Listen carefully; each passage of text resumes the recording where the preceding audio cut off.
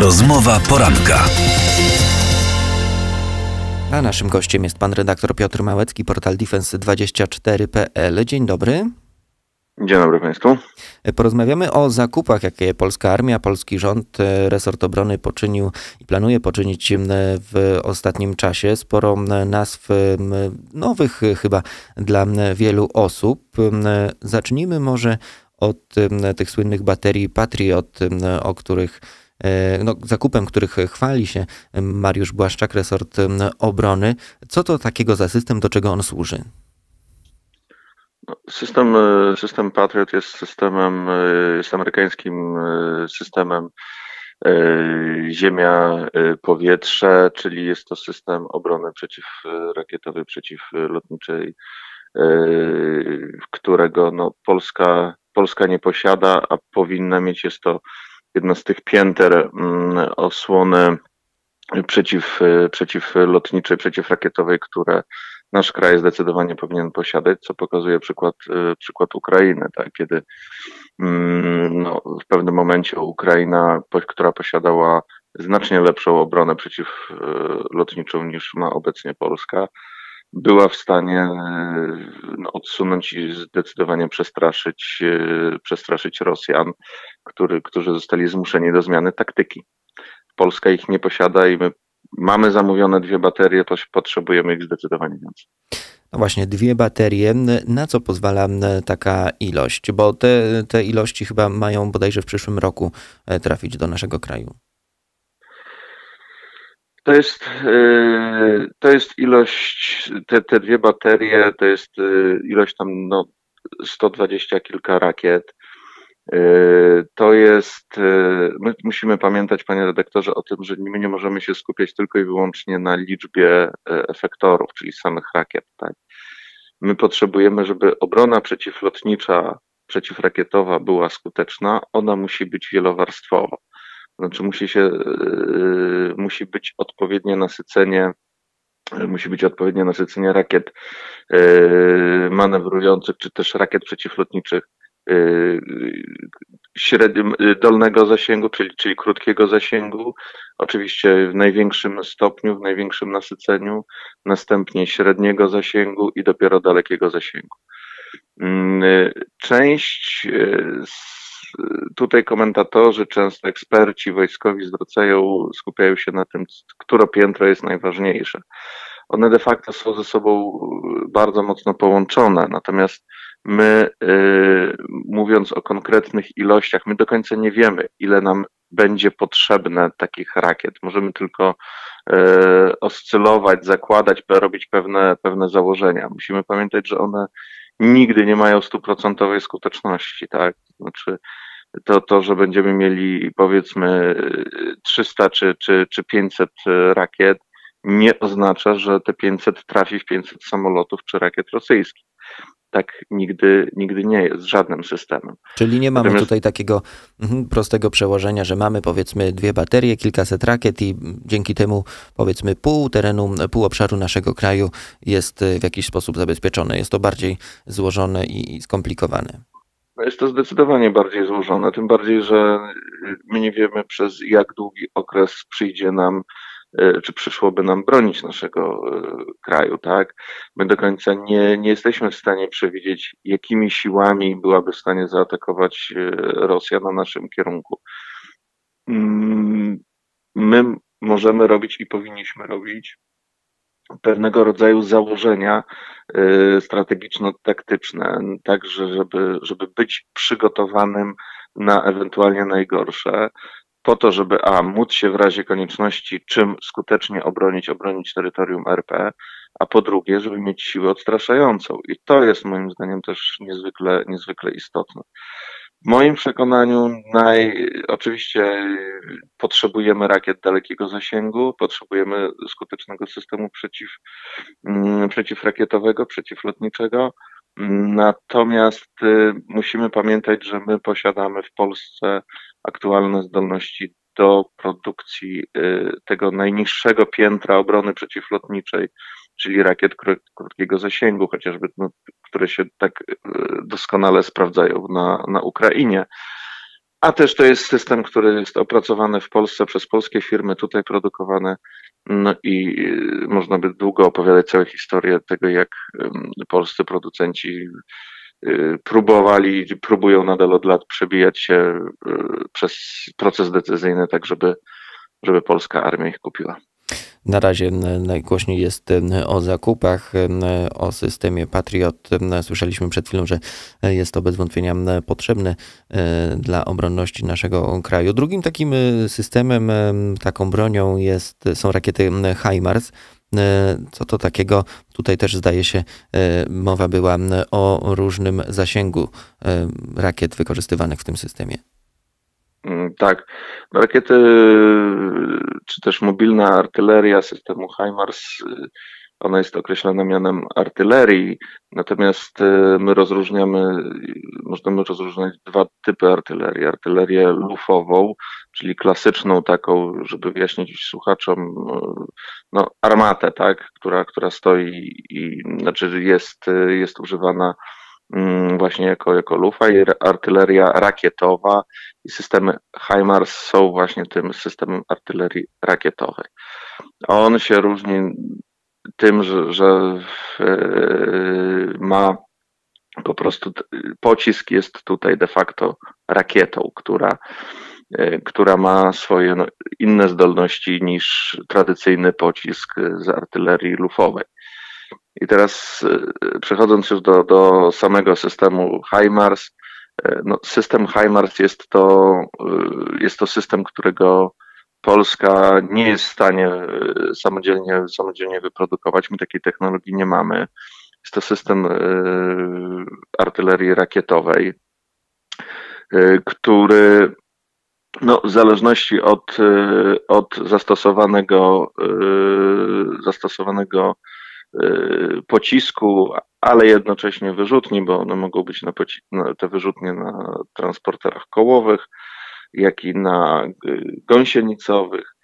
No to tutaj dopiero dochodzimy do, do różnych typów rakiet, do różnego typu y, zasięgu. Chodzi o to, żeby mieć też taką możliwość zgrupow niszczenia zgrupowań przeciwnika na dalszych odległościach, i tak, aby ta, ta, ta, to zniszczenie było dosyć skuteczne.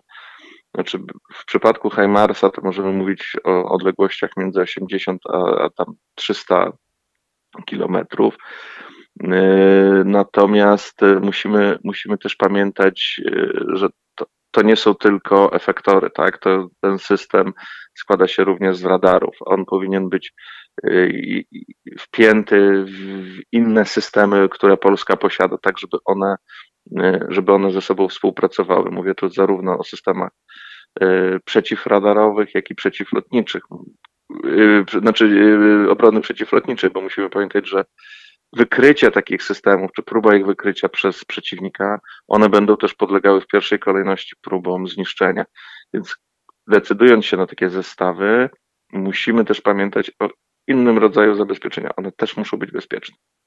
Tutaj minister Błaszczak zwracał właśnie uwagę na ten element odstraszania, e, jakim systemy HIMARS mają zapewnić i tutaj także jeszcze chyba trochę poczekamy, bo dopiero e, ta procedura chyba się rozpoczęła.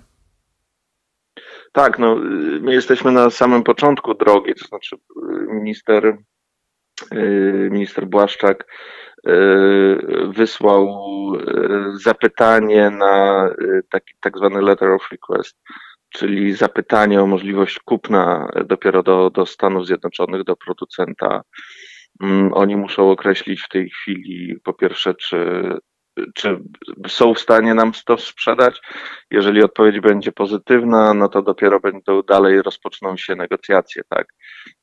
I w jakim czasie są w stanie nam wyprodukować, za ile, E, czy jakiś, e, czy jest możliwa jakaś kooprodukcja e, w Polsce, a być może, być może będziemy rozmawiać z Amerykanami w ogóle o, o jakichś systemach komplementarnych, to znaczy mam nadzieję, że wreszcie dojdzie do tego, że, że zaczniemy sprzedawać my swoje uzbrojenia do Stanów Zjednoczonych. To też jest możliwe.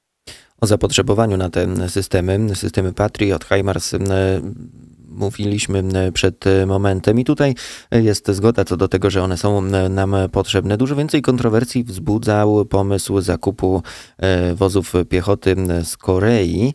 Tutaj konfrontuje się te pojazdy z polskimi borsukami. Czy faktycznie powinniśmy postawić na rodzimą produkcję, czy, czy zdecydować się teraz na zakup tych pojazdów z Korei? Jak to powinno wyglądać? Znaczy, panie redaktorze, nie ma w ogóle żadnej, w moim przekonaniu, dyskusji, że, czy powinniśmy, czy nie powinniśmy postawić na, na własną produkcję. Zdecydowanie powinniśmy postawić. Borsuk y, jest już na mm, samej końcówce mm, y, zakupu do, do polskiej armii. Y, te negocjacje trwają i wkrótce powinny się, e, powinny się według informacji, które my posiadamy, one się powinny zakończyć. No, wiadomo, wiadomo, że te negocjacje są dosyć trudne, ponieważ my mamy tutaj e, jakby jednego producenta odpowiedzialnego, jednego z konsorcjantów, ale tych konsorcjantów jest kilku. Natomiast oni są też wszyscy uzależnieni od, poddostaw, od dostaw od poddostawców różnych komponentów do tego. No i to jest moim zdaniem w tej chwili najbardziej, najbardziej gorący czas w tych, yy, w tych jakże niespokojnych czasach i temat do, do negocjacji, bo tu może nie wszystko zależeć od naszych, yy, od naszych producentów. Natomiast system Borsuk jest yy, w moim przekonaniu wraz, jeżeli zamontujemy na niego wieżę ZSSW-30, która jest również polskiej, polskiej konstrukcji, wieżą bezzałogową, e, jedną z najnowocześniejszych, jak nie najnowocześniejszą na świecie, no to w ogóle, w ogóle nam się jawi e, wóz o bardzo dobrych parametrach, parametrach technicznych, taki, z którego polska armia na pewno bardzo, bardzo potrzebuje. I teraz przechodząc do, do deklaracji pana ministra Błaszczaka w Korei, na razie to były tylko wstępne, luźne rozmowy z tego, z tego co y, zostało przekazane mediom. Ja rozumiem, że to nie chodzi o to, że pan minister Błaszczak chciałby zastąpić y, Borsuka, bo, bo w niego nie wierzy. Bo no, mieliśmy okazję rozmawiać i, i wiem, że, że, że pan minister, jak i wojsko czekają na, na Borsuka, na, na finał tych, tychże negocjacji. Natomiast to jest kwestia w moim przekonaniu podjęcia takich rozmów, to mogą być tylko dwa, dwa elementy. Znaczy, po pierwsze, być może taki, że wojsko, że polski przemysł nie będzie w stanie wyprodukować na czas założony przez polską armię jako niezbędny do posiadania odpowiedniej ilości takich, yy, takich bojowych wozów piechoty, nie będą w stanie wyprodukować takiej liczby wozów. I rzecz druga, być może, której bym też nie wykluczał, e, bo w pewnym momencie tam Twitter roz, e, był rozgrzany od, od e, różnej wymiany, wymiany zdań, ile to polska armia jest, przemysł jest albo nie jest w stanie wyprodukować tych, tych wozów. A być może chodziło też jeszcze o jedną rzecz, którą, której nie, nie wykluczałbym na tym etapie, czyli wpłynięcia na na przykład negocjacje z poddostawcami, które my nie wiemy dokładnie, jak w tym momencie wyglądają.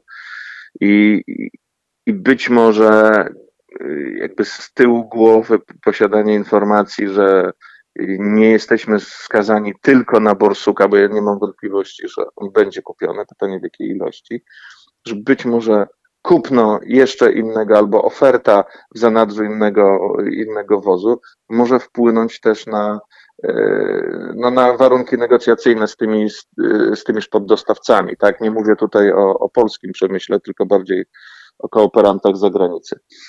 Mm, także te dwa, te dwa elementy bym, bym brał pod uwagę, biorąc pod uwagę znaczy to, to, że pan minister zdecydował się na rozmowę z Koreańczykami. Dużo mówi się w ostatnim czasie o zakupach, o planach dotyczących dozbrojenia i wzmacniania e, polskiej armii, polskich możliwości e, obronnych. E, rozmawialiśmy na temat zakupów resortu obrony. Naszym gościem był pan Piotr Małecki, portal defense24.pl. Bardzo dziękujemy. Dziękuję bardzo. Siódma dziewiąta. Rozmowa poranka.